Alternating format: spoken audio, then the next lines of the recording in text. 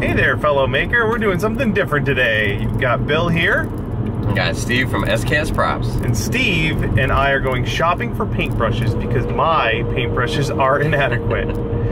So we're gonna go to a local craft store here. We're gonna shop around, see what they have to offer, and hopefully Steve will be able to give us some good tips on which paints and paint brushes are really good for hand painting props.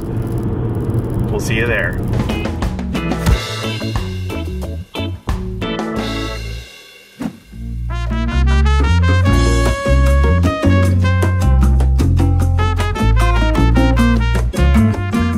Go.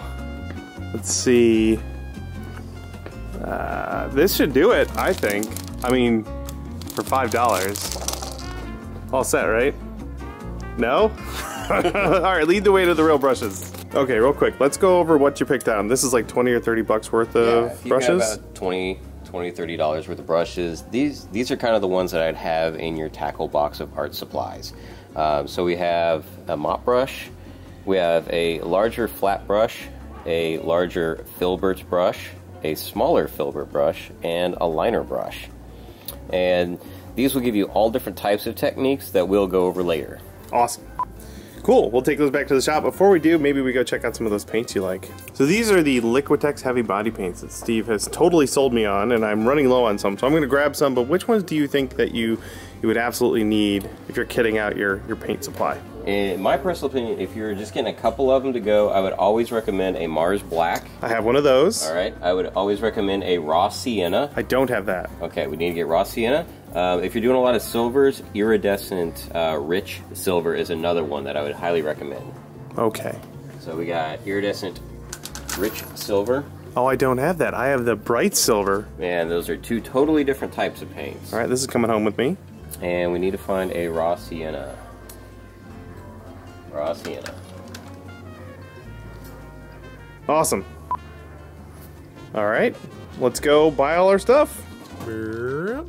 Remember, folks, to use your 40% off coupon. In fact, this one is free to the first person to use it. Go, go, go! These brushes and paints will be used to get effects like this. Steve, these are some really cool axes. What are they from? These are from my current creation, uh, Wasteland Alice, and this is a card guard from that series.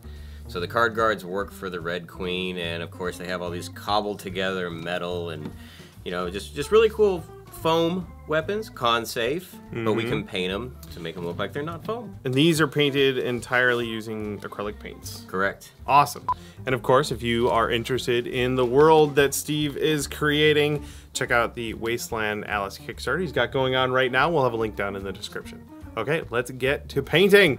So this is an example piece of EVA foam that Steve carved some detail into and then hit it with a little bit of black spray paint as sort of a primer.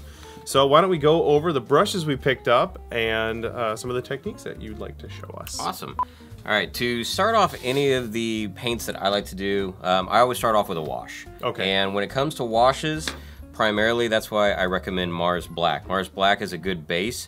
Uh, having an acrylic down on top of the rattle can will allow all the other acrylic paints to adhere to it a lot better. It's going to be a lot more durable. So to apply our wash, uh, we are going to be using a mop brush. And this one in particular, it wasn't super expensive. You know, it was only, you know, about 10 bucks. Uh, but if you take care of a brush like this, it will last you for years. Okay, so to start off, um, say we have our Liquitex Heavy Body Mars Black. And in this stage, you really want to add a lot of water because you want this paint to get down into all these little nooks and crannies. So load the brush up with a lot of water and a lot of pigment and you're honestly just going to start scrubbing it in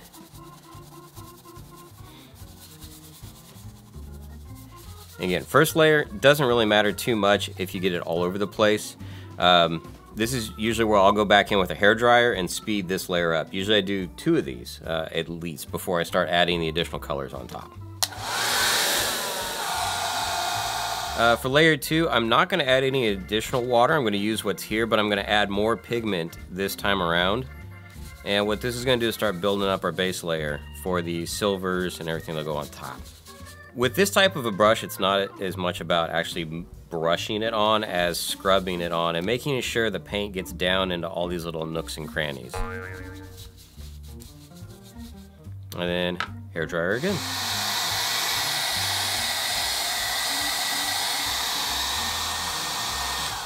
Alright, all good. Alright, so we're done with our first couple of layers here. Uh, we're going to talk about brush maintenance oh, for a sec. Because with a brush like this, you do not want to leave all that pigment down in there.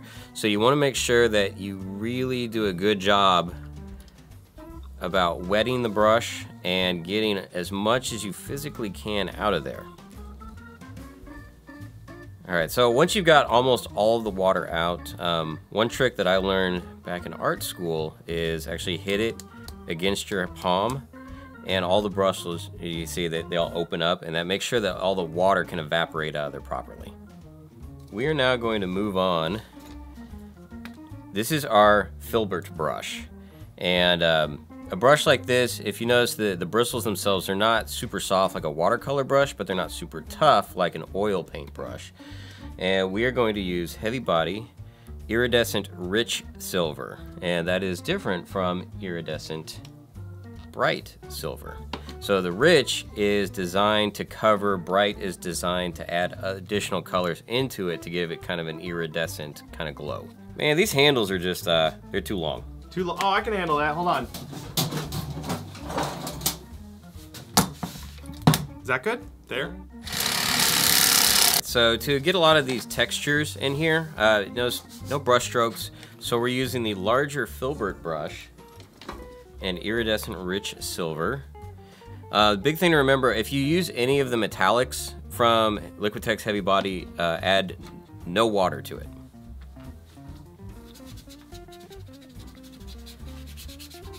And if you look, it's actually more of a scrubbing process than a brush on process.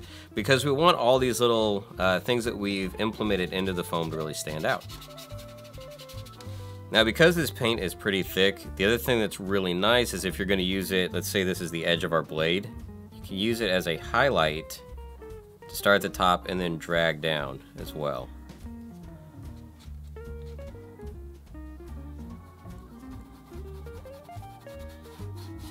Alright, we got a decent base on there, uh, but we're going to want some rust effects.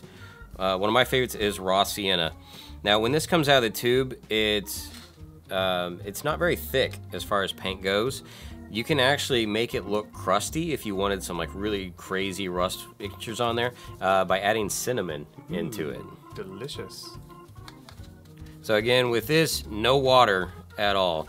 Um, you actually want to do a complete dry brush. And don't do it all over, just pick certain spots that you want to make it look like the metal has started to rust out a little bit.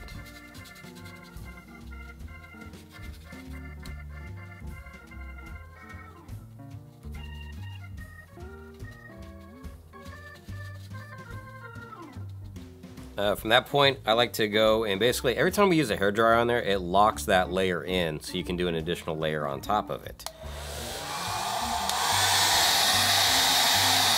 Alright, so we have our rust, and we don't want just the rust on top. We're going to go back with some of that rich silver with our filbert brush again. And you're not trying to cover all of it, you're just hitting highlights. So that rust is still down there.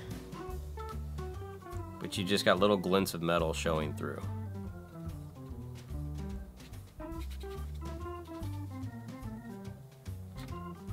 Again, no water added.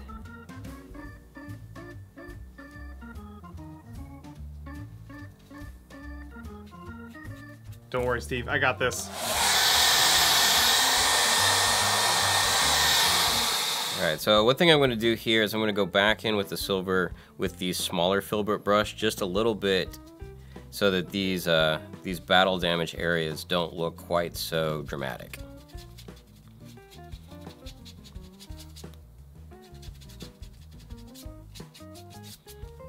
I noticed too, Steve, on your axe here, that there isn't just the silver. It looks like a little bit of blue was in there. Am I right? You are correct. Uh, yeah, I wanted the metal to have something more than just the uh, just the kind of gray going on. Well, let's see how it's done. All right, so remember for cover, we use the iridescent rich silver. We are now switching over to iridescent bright silver. And to do that, we're actually gonna switch back to one of the basic brands because we are not really needing the color as much as just to tint this silver.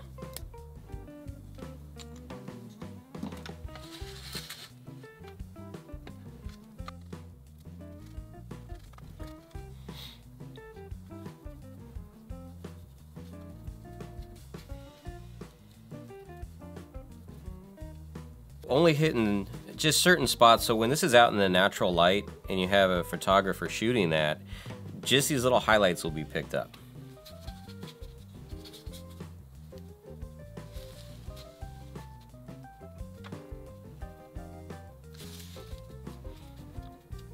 Boy, that looks pretty nice. Hold on. You covered all your brushes except for this little guy. All right, so the little liner brushes, the whole top of it just came off. Maybe spend more than $2.99 on your liner brush. All right. Super glue? That's a lot of super glue. Maybe wipe that off. There we go. So liner brushes are great for going back into all your little uh, battle damaged areas. And so once you're doing all of these dry brushing techniques, some of it gets back down in there. By going back with your liner, you can make sure that uh, you're not getting paint everywhere. You don't want to ruin this texture that you've got going on. Now one trick with liners though, add lots of water because you want the paint to flow down into the uh, into the deepest spots.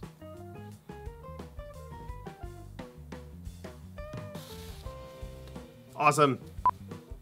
Good job, Steve. Let's clean our brushes. So how often should I clean the brushes or when should I clean them? I would recommend to clean your brushes after every color change. Um, and again, don't leave them down in the water because that's going to ruin the bristles themselves. Who would do that? That's crazy. Mm. So again, I do that all the time. No longer. I won't do it anymore. yep, get all the water out. Again, smack it against your palm. That'll open the bristles up, and those will last you for years. Awesome. Thanks, Steve. No problem. Steve, that was mighty helpful. We got this great set of brushes, including this big guy right here for, I think, $27 was the total. Like you said, these will last years if you take care of them, Exactly. which I'm going to start to do. And here is the uh, final product here. This took us like five minutes, or us, took Steve five minutes. and this is the kind of results that you can get. And I'm very excited to give it a try myself. Steve, where can fine folks at home find you and your really cool new project? Well, I'd say the Kickstarter is actually going for a couple more days, so make sure to check that out. And you can find out everything you need to know about Wasteland Alice at sksprops.com. Perfect. Thanks so much, Steve. High five. All right, everybody. We'll see you in the next build.